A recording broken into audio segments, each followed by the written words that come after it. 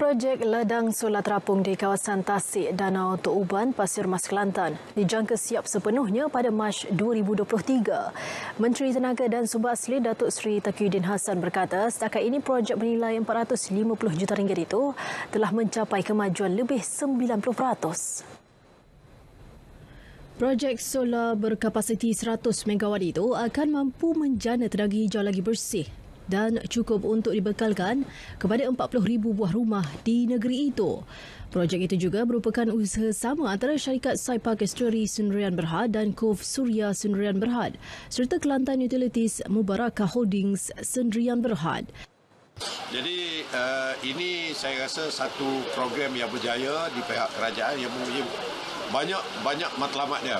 Matlamat yang saya sebutkan tadi untuk mengurangkan uh, pengeluaran karbon dioksida dan juga uh, apa ni uh, dipanggil gas rumah kaca dan sebagainya ini adalah matlamat kerajaan lah untuk mengurangkan karbon dioksida ni dan juga dengan tenaga hijau ini ia menyumbang kepada pencapaian ini.